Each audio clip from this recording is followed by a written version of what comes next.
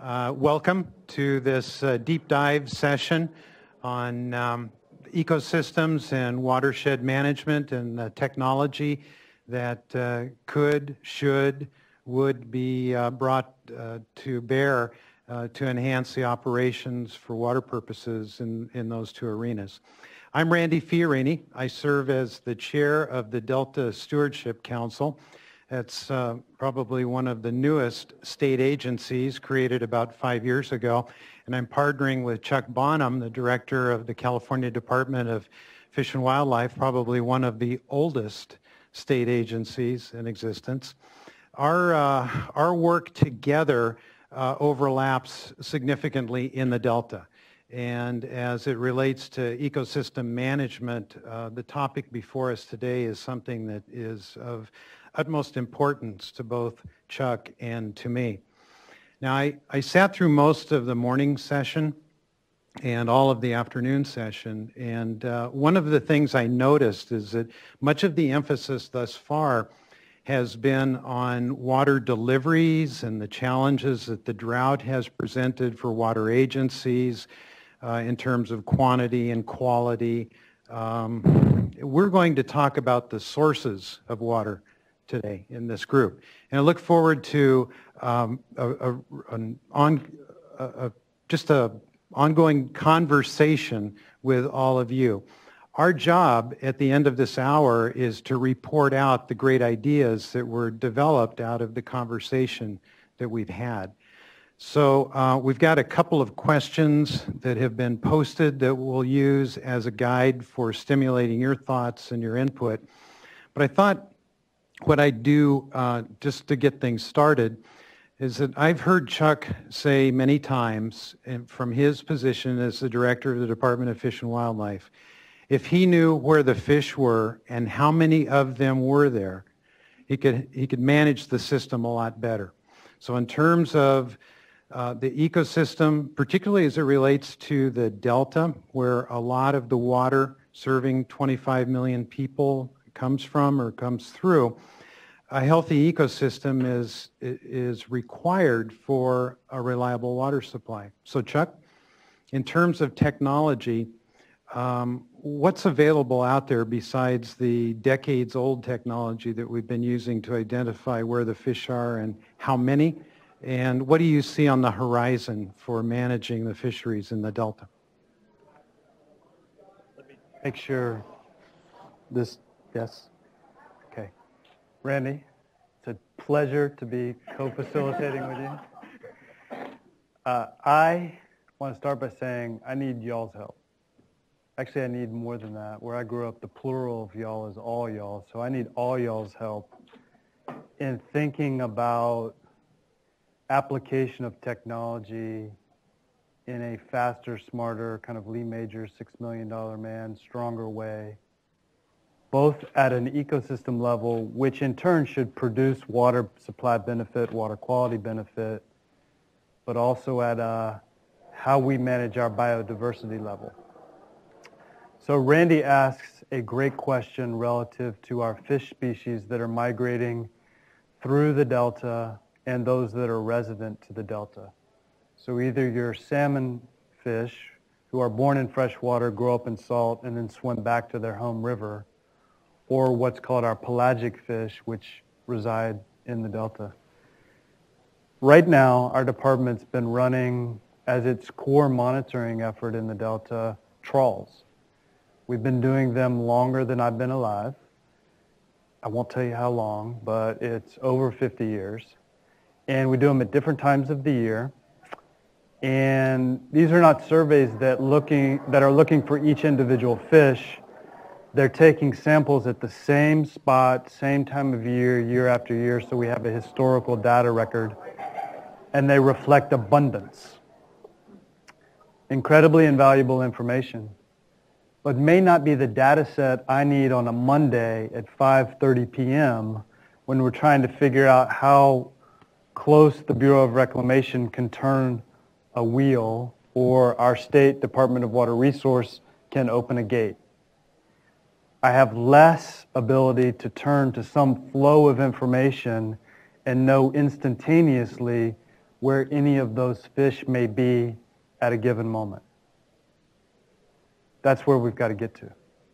Because what we're finding in water scarcity times is exploiting that margin of flexibility between supply and ecosystem is how we run the systems more finely at a instantaneous scale, good for the ecosystem, good for people. So there are a couple of things in the works. Right now we take a percentage of the fish we raise in our hatcheries and we put a tiny little tag in their snouts. And when they come back, hopefully, uh, three or two years later, we take a percentage of the fish and we we chop their noses off, and we record that data that's coming out of the transceiver in their nose. What we haven't done yet is mark them such that we know instantaneously as they're alive moving their presence absence. Another technology that's on the cusp is something called the smelt cam. So the USGS, Geological Survey, and our department are testing a pilot where we would drop seine nets in the water not to pull the fish out, which is what we do now, and can have uh, incidental impact to the species. We put them back, but the pulling out and counting, you know, fish like to be in the water, not out of the water. We're toying with the idea of using the seine to funnel the fish through a, basically a fulcrum and plop a cam and trans, you know, move ourselves into that system rather than physically handling these fish. So those are two examples of things we're trying to do in the Delta uh, to improve the management of these fisheries basically on this hypothesis. If we know more about them and at a more instantaneous basis, we can make smarter decisions uh, relative to the two really large uh, water projects, the federal Central Valley Project and the state state water project. Mostly though, I need your help. So I view today, the next hour, as a chance for me to get out of my office and ask you, the experts. We got 6,400 species in this state. Uh, we own and manage a million acres uh, at the department. If you've got a great idea, let's figure out how to test it and run it out and see if we can put it in play because we desperately are lagging behind the use of technology to benefit our ecosystems. I agree. And um, we have Ava on my right, Kyle on my left with the microphones. Um, you've heard one example of, uh, of technology applied to the ecosystem, water quality, water temperatures as it relates to the watershed. We've got an, a number of things uh, uh, potentially to deploy up there. But I agree with Chuck. We want to hear from you. So uh, what technologies can help improve uh, management of our ecosystems, in your opinion? And if you don't come forth with anything, I have more yeah, questions for Chuck. It's a long hour. I mean, there's a lot going on in this field. But frankly, I'm not seeing enough of it come to me fast enough that we can flip it into deployment and really increase the pace of using technology for management decisions. Filling the space, I'll give you another example. Uh, we know that in the winter, when it starts to rain again, the first big rain events are going to push out a ton of sediment from all the tributary systems and into the delta. And what can happen is, we call it a sediment plume. You'll see a, a bloom of sediment literally, and then that bloom will grow in size, and it tends to typically start in the north or central delta. And if it spreads to the south of the delta, the very little fish that are most imperiled actually like the turbidity because they can hide from the big fish that want to eat them. So the little fish get into the turbidity sediment and they end up actually heading south towards the pumps of the very large water systems. which turns out isn't very good for their health, right? so just this past winter, we did way more active instantaneous management of both pumping from the South Delta and managing reservoir releases to reduce the risk of turbidity, that bloom, that bridge spreading. It turns out we may not be trying an even smarter technology, which is aerial overflight. And figuring out how to map sediment from overhead into a GIS database and then having kind of this modeling mapping tool that can project how it may move. And I'm thinking this because I'm just coming off dealing with the oil spill in Santa Barbara, and it turns out NOAA on the federal front has some really cool oil dispersant modeling tracking systems. sometimes it may not be we need a new technology. We just need innovation in the marketplace or we need linkages between uh, another part of the conundrum transporting the technology in. My comment, hear without the mic, but uh, comment is that you mentioned aerial, but also turbidity measurements in situ at a few sample buoys or something would take care of uh, getting you at least the correct data model done. So not only you would uh, measure from air for gross turbidity, but you would get particulate picture uh, sizes of sediments, etc., and also aerosol kind of micron size particle in the, which would be more monitorable at the mouth of the delta. Yes.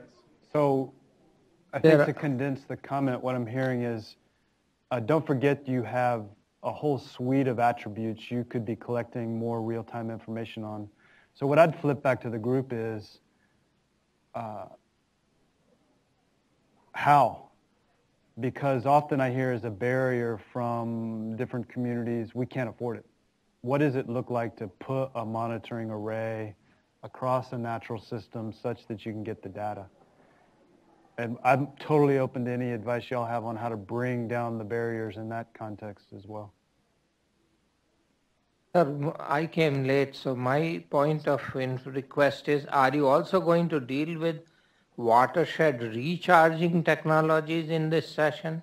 Yes. Good. whatever Good. y'all want to Good. talk about. So whenever it's the right time, I have a couple of questions. Let me know. Great. We'll follow up on the monitoring uh, comment first. My name is Ajay Goel from Department of Water Resources.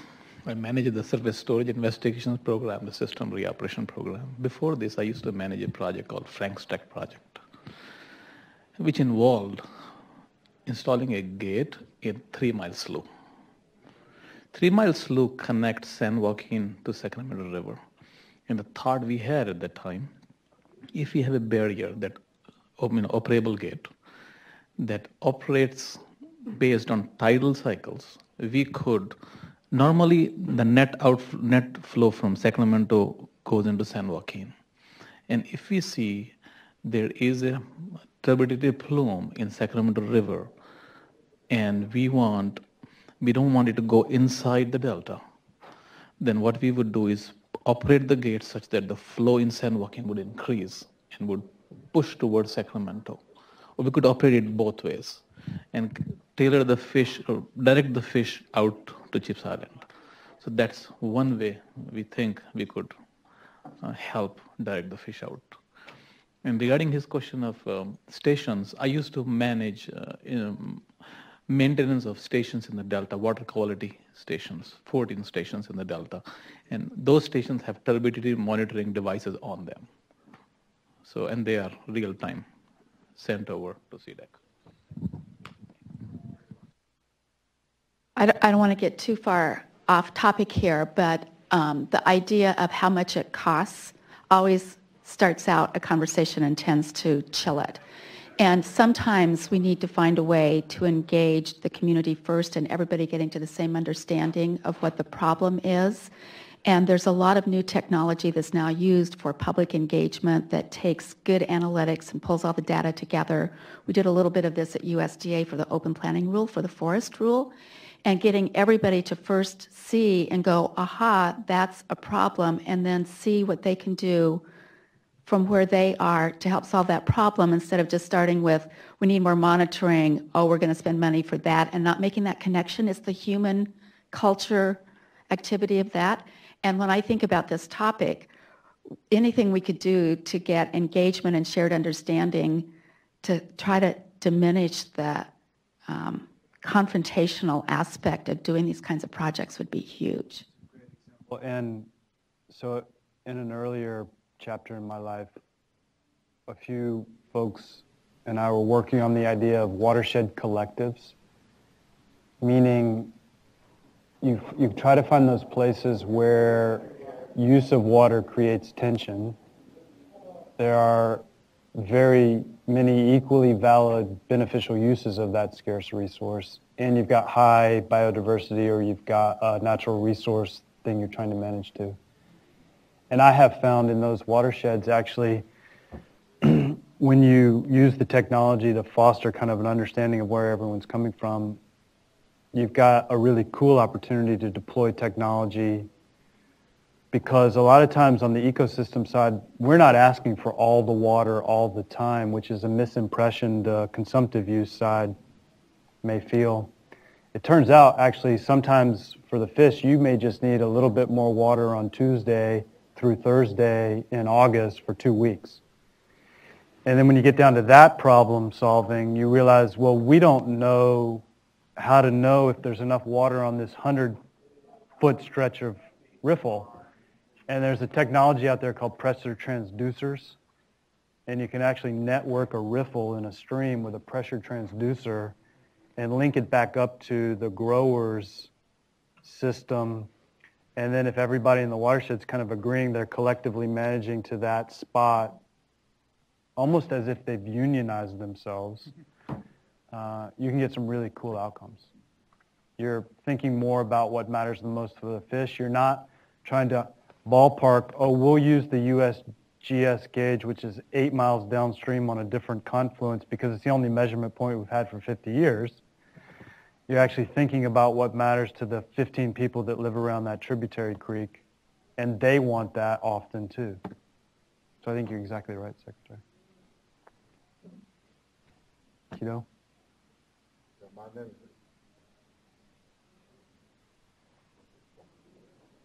My name is Tito Sasaki of Sonoma County Farm Bureau.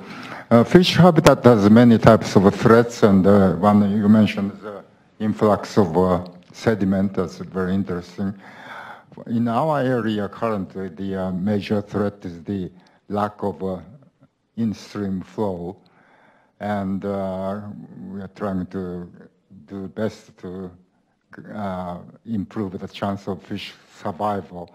But has there been any sort of organized research activity in your department to come up, develop uh, so, some kind of a habitat design that's uh, uh, sort of a, can where the fish can survive with a lesser amount of water uh, because uh, you know there could be some way to alter the stream bed configurations or stream configuration itself. Uh, in the case of a drought emergency, that so that the chance of fish survival could be increased. Is there any such uh, activities going on? There's a whole world of professionals who are fish biologists who practice in the sub-area of in-stream flow methodology. It will put you to sleep in about 30 seconds. Uh, what is lacking, in my experience, Tito, is how you take the hydrology biology scientist and you help their work product be displayed in a visual mapping GIS modeling sense so the common party water user who has good intentions to benefit the ecosystem can speak to the very techno kind of geeky driven hydrologist, fish biologist. I happen to think we're missing sometimes the technology hub, if you will, that can help the various outer parts of the bicycle. I'm trying to come up with a, a metaphor here, kind of communicate with each other through some tool in the middle. And what I'm finding more and more in ecosystem management is that tool is often some sort of GIS visual mapping, something that allows people to look at a situation displayed in a map base and then the parties can say, well, if we did this, what happens? And they can look back at the visual display and see how it may change. And then they go over and they twist it again. They see how it may change. Because it's the gaming of ideas through like these tools that then turns into the decision making that gets you to the better result. If that makes any sense. But Or I may just be blabbering on. These tools require a lot of underlying correct modeling, I may interject, It's true. because it's not just the IT kind of tool. It has what kind of uh, seepage modeling, what kind of flow modeling, CFD modeling, whatever it takes. Just wanted to clarify. Let me, let me add, add to this. Um, a month ago at UC Davis, uh, a three-day workshop was held on integrated modeling for the ecosystem. It was sponsored by the Delta Stewardship Council, the Delta Science Program, and the National Science Foundation. And it was amazing. Uh, Chuck's right. I mean, there's some pretty geeky things when you, when you get to the computer models and the uh, algorithms and, and this. But um, one of the one of the problems that we have, we have great models for this or for that or for the other thing, but we have very low integration. And so that was what the, the workshop identified as the single biggest technological need is to find ways to combine these great models into one integrated model, then to do the kinds of things that, that Chuck has described. I was one of five panelists, and I was a little intimidated um, because I'm just a farmer.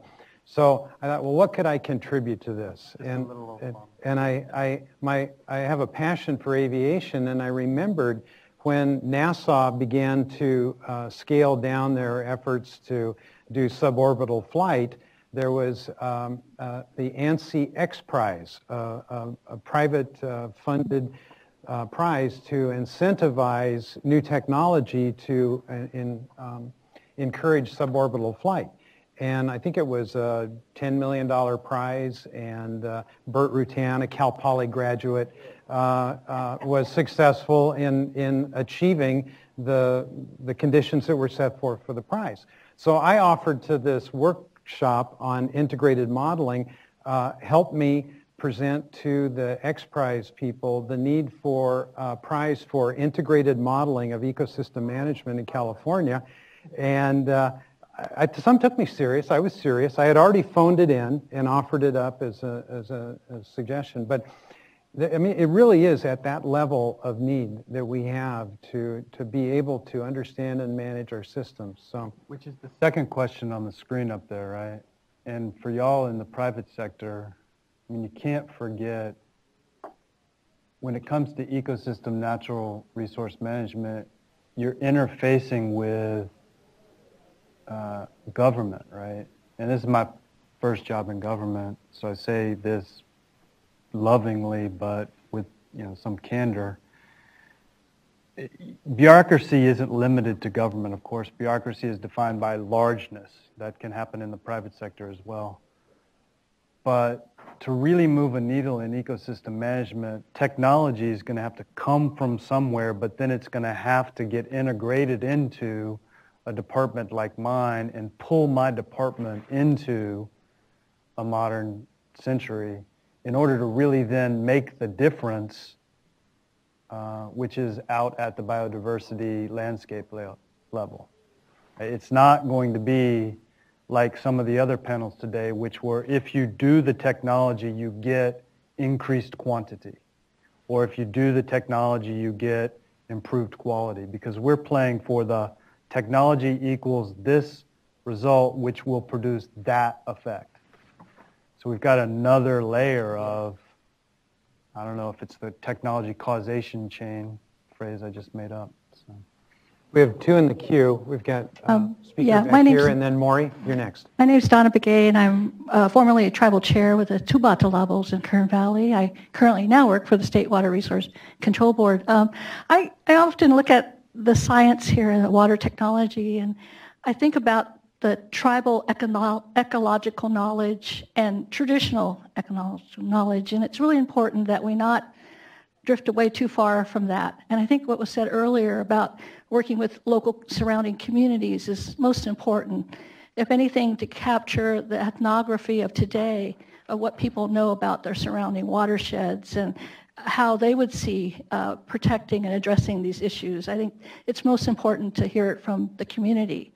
I've worked with my own tribe and we recently implemented a, a water project on uh, two of our allotments, and we were very fortunate. But we were considerate of the ecosystem. We were considerate of what the water is required for, for not only the people, but the plants, the animals, and downstream neighbors. And, and that's important to know, you know, how much to take, how much to use. And especially now, I mean, it's so important. Uh, one important other aspects of technology is a collaboration in working together like with U.S. Forest Service and the, and the Dunlap tribe over in the, in the Dunlap area there just east of Fresno, studying like the Kings River area and the high meadow restoration areas and, and doing core sample studies of the soils and partnering with the tribes to get their perspective of that history. What is the soil study saying? What is the current science saying about the past in regards to the soil studies?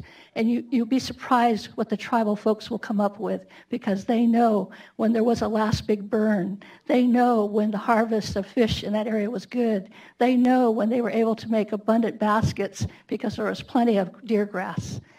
And that's what the soils indicate often is that this is, this is the pattern of evolution of, of our planet in that area. So I just want to kind of reinforce how important that is to continue to do that, not only the community today, but the community that's been around for a very long time. Great, and, and it, it goes to the, the genius of those, uh, Wade and his folks that organize this, providing the opportunity for people with hands-on experience to advise us so that we can report back good ideas. So thank you for that. Maury? Yeah, I'm Maury Ruth with the Department of Water Resources. Uh, Coming back to uh, new technology, I'm uh, wondering, you know, in connection with the, okay, that's better. I'm wondering, uh, in connection with the problems over at Shasta, you know, whether your department would consider the cloud seeding project that has been proposed by PG&E uh, the big aquifers that feed the base flow there have been uh, decreasing. Maybe it's about half full now. And Sure. the uh, the uh, base flow dropped off 1,000 to 1,300 CFS. And they had proposed a cloud seeding project to restore the, the aquifer. Yeah. And what they're looking for is support, I- fishery agency for it. Yeah, if I had no, I don't think I have an opinion on cloud seeding, Maury, but I'd be glad to chat with you about it. Part of it strikes me as the old adage which brought folks west to begin with around reclamation anyway, which was the rain will follow the plow. Not always the case. Um, I do think your idea has strong fundamentals. Set aside the tactic in my experience, and this relates to um, the chair's comments a minute ago, we're not yet ready, even though we've identified our greatest reservoir is our natural landscape at high elevation, which is why with the governor's leadership, his water action plan tells my department to restore 10,000 acres of degraded meadows in the Sierras and Cascades because if you can restore the natural function to those meadows, you may slow water down, you may let it percolate and recharge, and this is the connection to integration. The Forest Service has a good sense of where a lot of that work needs to be done. Here's where we're not ready with technology on this endeavor. I believe in the hypothesis There's some good literature out there, but we're not re- ready to say if you do 10 acres here in this tributary, five years later, your aquifer will have recharged this percent, or your downstream confluence point will have DO, dissolved oxygen, changed in a better way. We're not yet networked, but we should be thinking about our use of funds like Proposition 1 funds such that you do the restoration and apply the technology and the monitoring so that we're setting ourselves up to make the case in the next go around for the next innovation leap. So that's me trying to put a lot of thoughts together. So I'll, I'll sleep on cloud seeding, but sign me up for like high elevation aquifer recharge kind of. Maury, I, I, I served on the Turlock Irrigation District Board for 16 years, and for all 16 of those years, I voted affirmatively for cloud seeding in the Tuolumne Rivershed. Um, you know, at the end of the 16-year period, when I look back, it may have made a 1 or 2% difference as it compared it to the Merced River or the Stanislaus River watersheds. Uh, and it was always dependent upon cumulonimbus clouds, of which in a year like this, we didn't see many. So um, I'm on record as having voted to spend money to do it, but um, I'm uncertain as to uh, how much bang we got for the buck ultimately. Yeah, in this case, somebody else is willing to spend the money with some support, know that it's a good idea to do that. Mm-hmm. Next question. Right there. Uh, hello, my name is Mary Simmerer, and I'm the uh, Sustainability Coordinator for the Department of Water Resources. And I think this is a very important conversation, but I would like to go back to uh, what the woman at the back said about uh, ecological knowledge. I think before we know the technology we need to get us where we want to go, we need to really have a good understanding of what is a healthy ecosystem. Uh, these boundaries are really fuzzy. Um, I've heard a lot about fish management, but uh, there's a lot more species out there. and what may maximize fish uh, habitat may come at a cost. And so I think probably one of the more important things as a state is to have a sense of what is this healthy ecosystem we're after and how are we going to achieve it. And then we'll have a better idea of what technology is necessary. Uh, for what it's worth, just personally, I don't think we can engineer our way towards every result we may want as a society. Uh, and you, know, you can't forget your past or you'll never truly figure out where you want to go. So I, I, agree. There is some synergy between technology and innovation combined with a real deep understanding of the ecology we're trying to have in a balanced system. Wait, do you have a comment you want to make now or? You're in the queue. Okay, you're number three in the queue. To my left and then to my right. One, one additional thought, sorry to dominate. You know, a thing that's really emerging is environmental DNA. What, what we're finding, and we have got a partnership with the genomics crowd down at UCLA, we don't totally understand, let's take fish out of it, Amar, vole or monarchs or some of these real obscure endemic species in the state.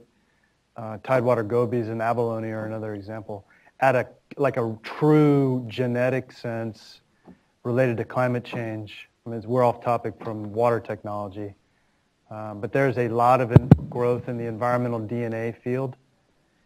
And to take my earlier smelt cam idea, so we, we kind of move off of just trawls and handling fish. We move towards a smelt cam.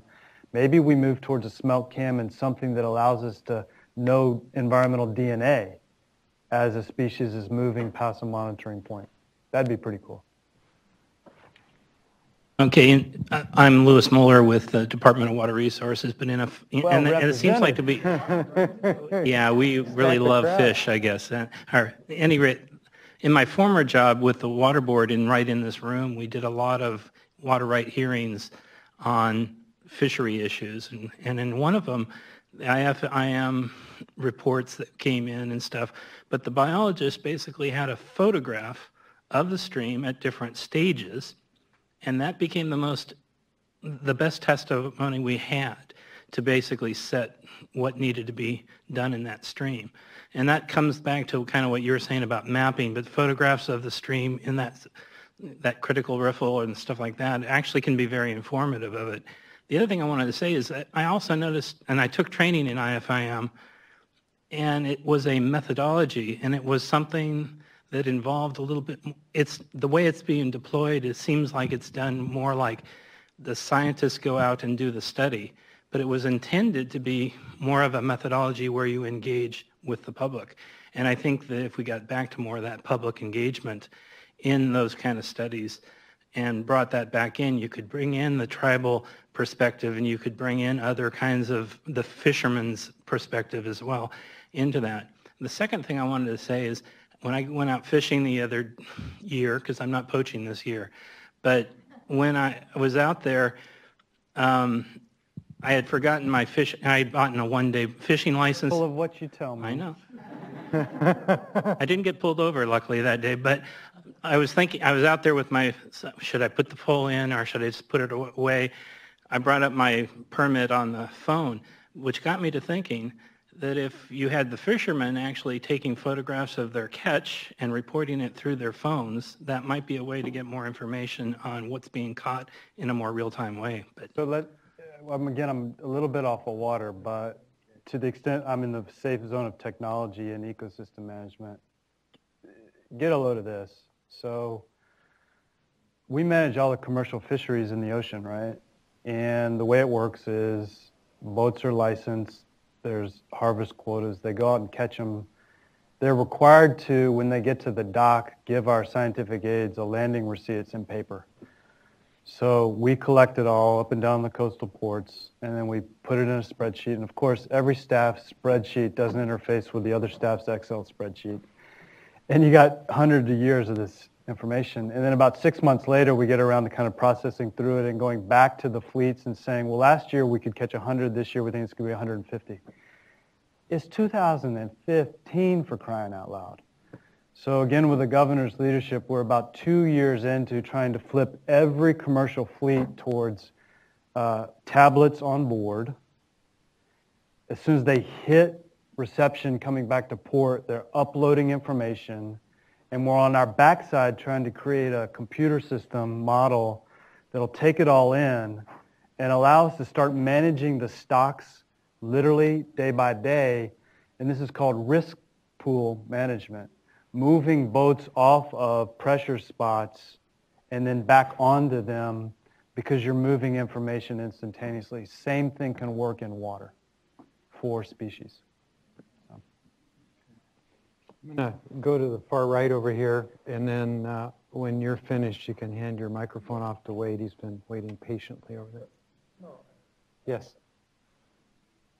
Um, hi, I'm Gia Schneider with Natel Energy, and I have a just going back to a couple comments earlier um, or a couple comments ago with respect to the high mountain um, meadow restoration work that you're doing, and the point that you raised that it would be really wonderful to be able to know what the state is now and five years from now actually have objective tools to understand if objectives were achieved, right? And, and understand where, where maybe you overachieved or underachieved, because from that we can actually learn, because we shouldn't fool ourselves that we actually know exactly how to achieve all the outcomes we want, or even which are the, exactly all the outcomes we should try to be achieving at this point in time. And the ground's going to continue to shift under our feet with climate change. So, um, so I'm curious because we're working on a tool. We're coming at it from a, we've come at it from a little bit of different angle, but we've ended up in exactly this space of how do we look at, for, our focus is watersheds, how do we look at uh, designing and then implementing and then monitoring over a long term projects that will then have a number of impacts within a watershed. And there's and it is 2015 and the technology we can bring to bear on it is is pretty amazing actually and is is the pace of change of that technology is accelerating pretty fast. So areas that were were So you can you start with a simple mapping in GIS, you integrate in sensors. We have tablet deployed um, site survey tools, which enable us to actually get in, input from folks who are out in the field. Um, if you get those in the hands of local community folks, you can now start to recruit those people to give you uh, regular inputs. It's all, at the end of the day, all the information is just georeferenced time series. Some of the time series are very frequent, some of the time series are very infrequent, but at the end of the day, it's all fits in that common framework.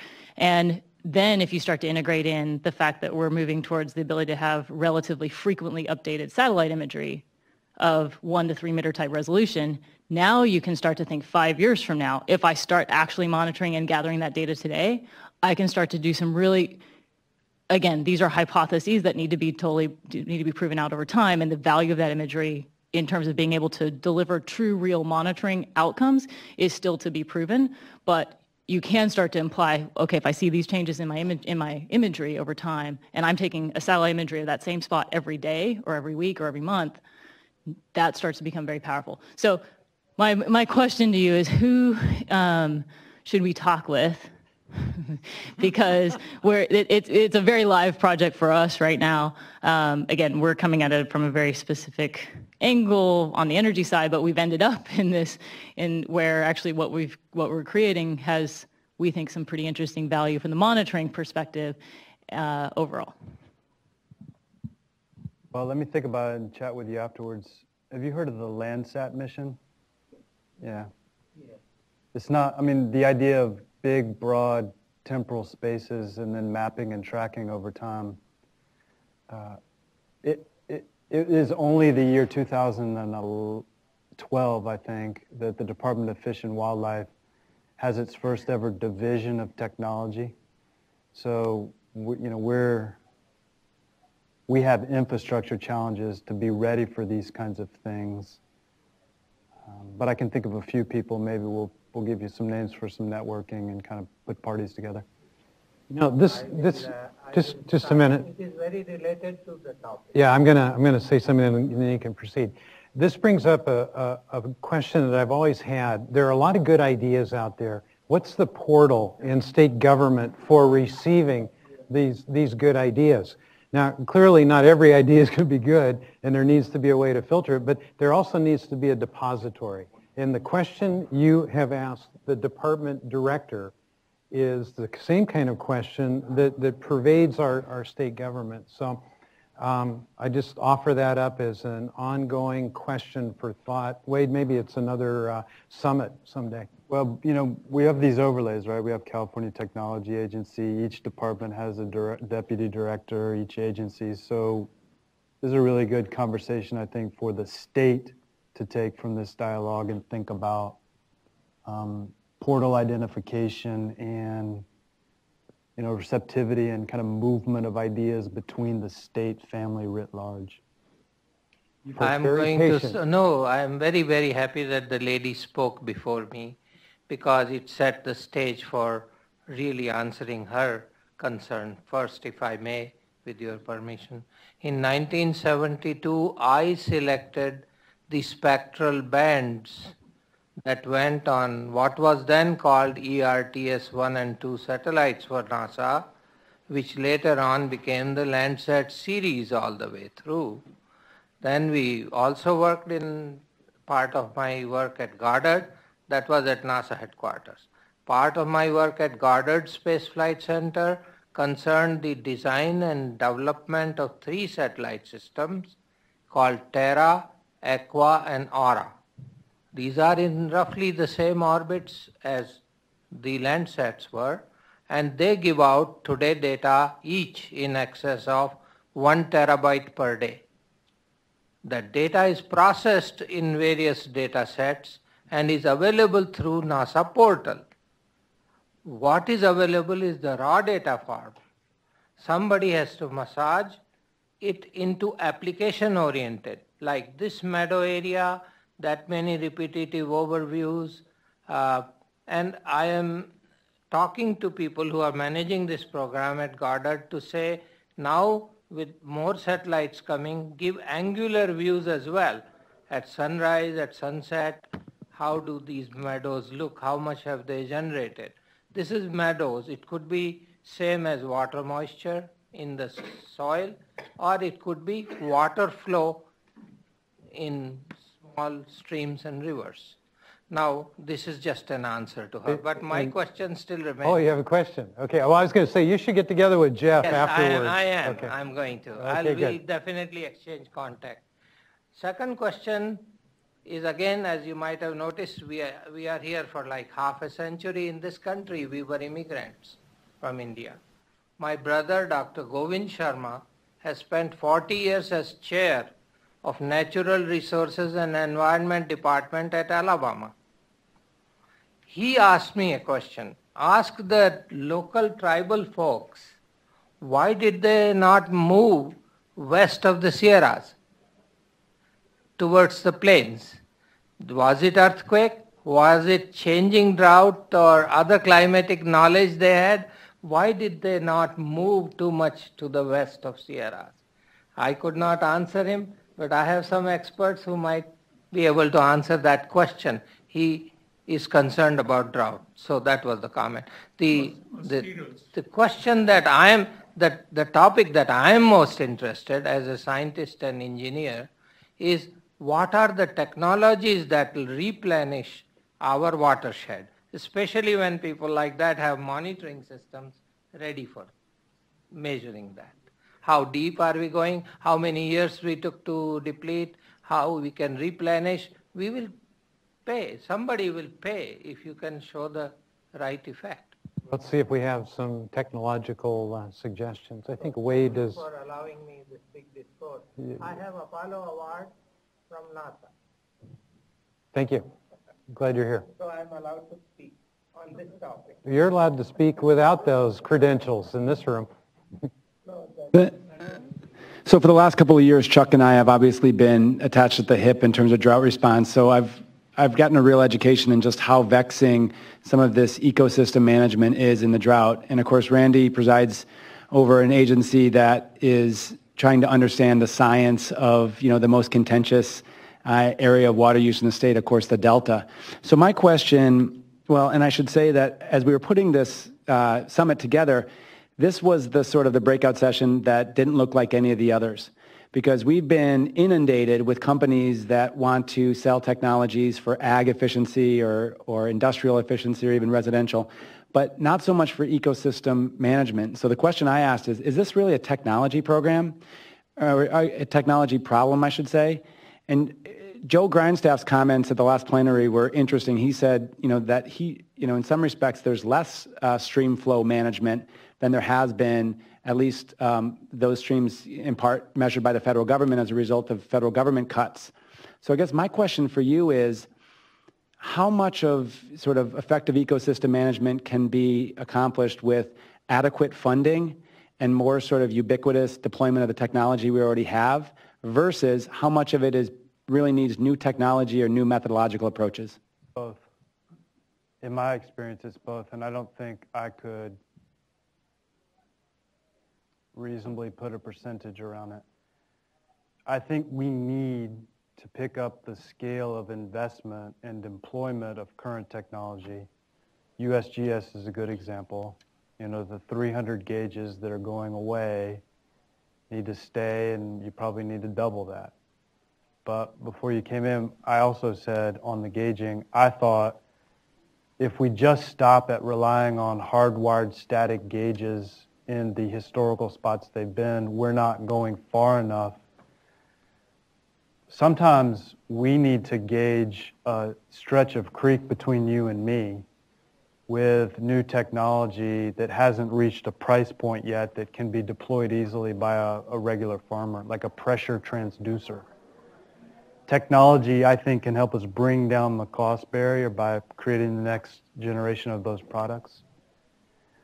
I will tell you, though, the other thing I think is, this is personal opinion, all the great brains that are working on technology to apply in these other sectors, come work on technology as it relates to ecosystem management. I don't, in my experience working with colleagues around the state, there are few yet willing to jump into the natural resources world and try to do there, either at a a business model disruption level, like jumping into the taxi world and creating Ubers, doing something that's different at a business level, or come in with a technology that no, like nobody knew we wanted an iPad until we were presented with the opportunity to have an iPad. I don't know what the iPad equivalent is in the ecosystem, but we need people to come into this field. It's starting a little bit, I'm finding, with like the Palantirs of the world, because so much money is being spent in the Gulf after Deepwater Horizon, and nobody had thought about how do you spend $10 billion for ecosystem benefit and manage the data around that. So I think we need to do more of the capacity growth. We need to persuade more of the best and brightest to get in this field. And then there's probably some technologies we don't, we aren't aware of yet. We're waiting for the iPad. That's my personal view. And, and so Wade, I would, I would piggyback on those comments. I, I think the, the complexities that exist in the Delta are, are, the, are the greatest part of the challenge. And I have the privilege, you are correct, in working with some of the greatest scientists in, in California in, in, on ecosystem and, and uh, water-related science uh, issues. I visited with them in preparation for this, and they told me, number one, the real-time sensors exist, that it can be connected either via cell or satellite. And that needs to be expanded very thoughtfully, but it needs to be expanded throughout the system. Then the data collection that occurs, um, we had a big data summit uh, three or four months ago and identified um, some of the key problems associated with data. It comes in different forms, in different languages, uh, in, in utilizing uh, different means to, to achieve the data. So there needs to be a synthesis of the data. And then the third step is to put it in a platform that, of open architecture that can be accessed by all the, all the scientists that are interested in that particular issue. Uh, and we're, we, see, we see movement in that direction. Not as rapidly as we would like, but um, uh, I, I think technology is going to play a huge role in not, nece- not necessarily solving our problems, but helping us to manage them. Take it a step further. Now we're in the philosophical, though, because one of the things I struggle with sharing, maybe overly sharing with you all today, you know, when you think about technology, I think most of us have a sense that it's it's occurring in part related to the movement in a like a market economy, right?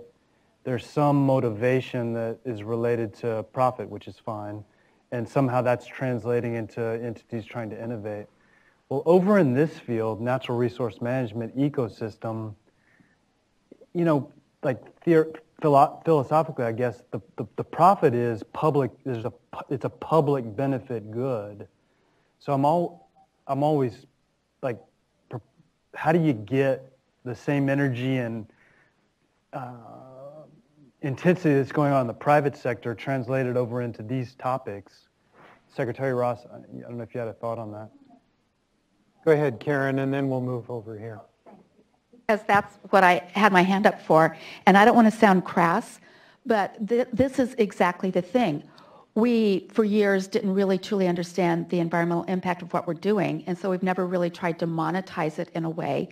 And in Australia, they put a lot of money so that environment could buy could buy water, and then all of a sudden there's new ways of managing it.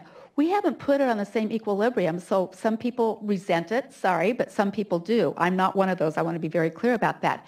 But we haven't put it on the same footing, and and people don't have to see making money in it. But I think about the next generation that's coming out of schools today. They want to have a purpose in life. They want to solve problems. They do want to disrupt things. But if they have never been exposed to this kind of thing, they're not going to help solve this kind of a problem.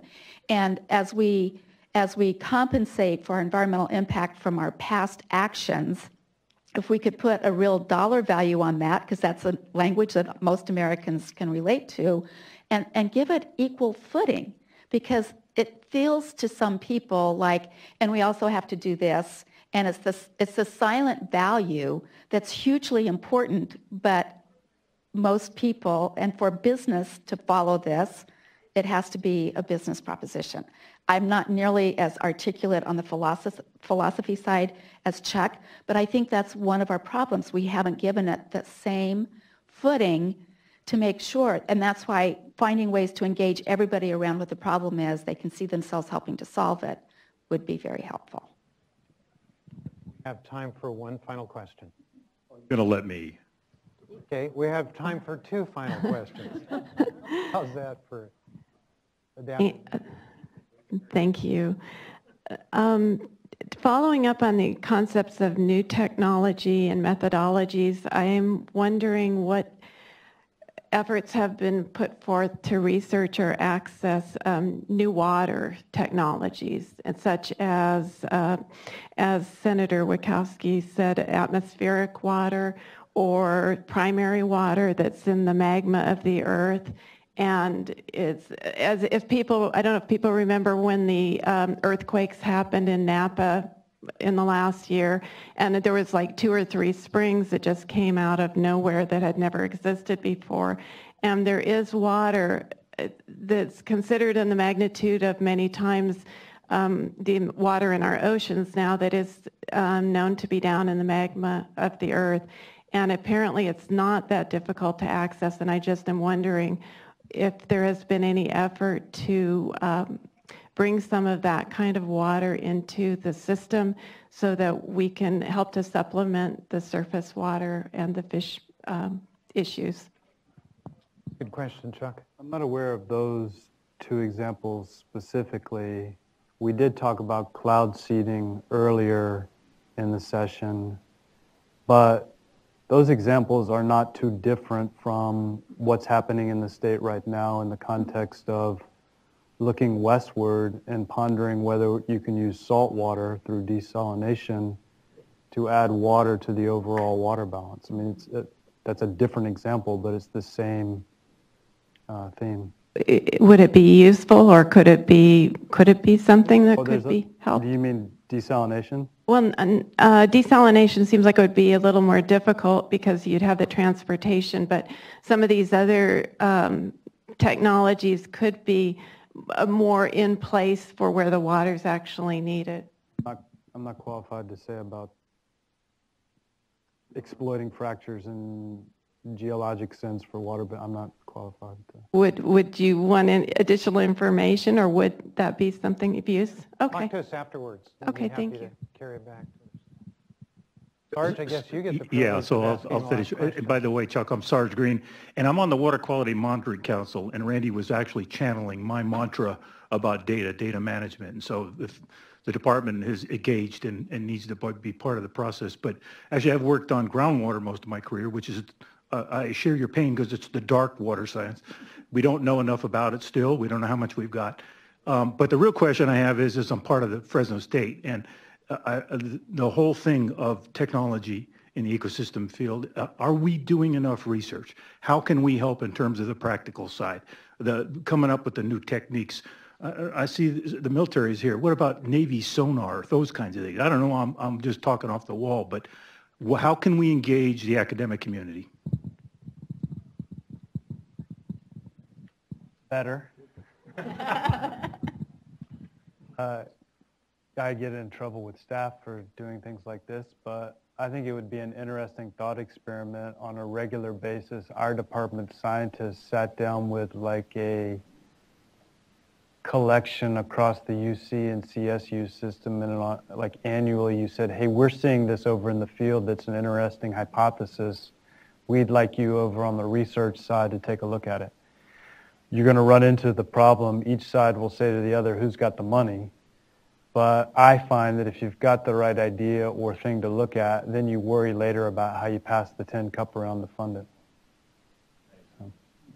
And, and I have the opportunity working with the Delta Science Program to work with a, a number of academic centers throughout the, the western U.S. and receive information uh, along those lines, but uh, more frequently. And I, I wish that I could expose uh, all of the other agencies related to water and ecosystem to the, the, the resources that we have available at the Delta Stewardship Council. It's becoming more evident And recently, we, uh, Chuck and other agency leaders identified a key staff person in their shop to work together in a workshop environment to identify the highest priority, near-term, high-impact science needs. This group, since February, has developed a list of 10, and, and since May has begun to implement those. It's an incredible, um, it's incredible movement. And the, the consensus among the 17 people that were gathered together across state and federal agencies said, we never get to interact with each other. We never get to have these kinds of conversations, and it is bearing a lot of fruit. And so now if you extend that same approach to UC Davis and UC Berkeley and University of Idaho and, and where all the knowledge centers are, we, have got, we've got some great resources ready to deploy. We're just and what, what you get is this kind of stuff, which maybe by way of conclusion, I'll try to knit together some things. There's a lot going on, but we can do better. Here's an example of better. So this administration's you know, leading an international discussion on climate change, right? And as a result, this building right here is home to our air board, which is trying something nobody else is. And because of y'all's support and others, including the legislature, there's a process to allocate the revenue from the auctions of these emission tradings. Turns out, a percentage of that revenue comes to my department. Turns out, if you restore degraded wetlands, you actually can sequester carbon. Wetlands are some of the most efficient carbon sequesters. Turns out, if you do that in the right places, you can actually get water quality and supply benefits. Turns out, you can also produce phytoplankton for pelagic species which are faced with extinction in the delta. So we just allocated a really big grant to UC Berkeley, a reclamation district, DWR.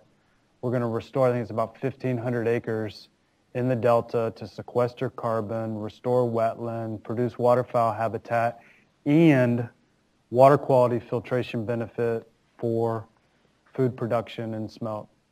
That's an example of where I think we've got to take all this stuff and we've built into it monitoring so we can see if it's going to result in what we say it will five, ten years out.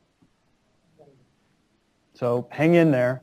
Go persuade the 15-year-old at home or in your neighborhood that they need to get in this field and help us out with the next generation of technology for the benefit of ecosystems. Couldn't agree more. Let's give a hand to Ava and Kyle for distributing the microphones. And thank you all for coming. I think the next session begins in about 10, 10 minutes. 10 minutes.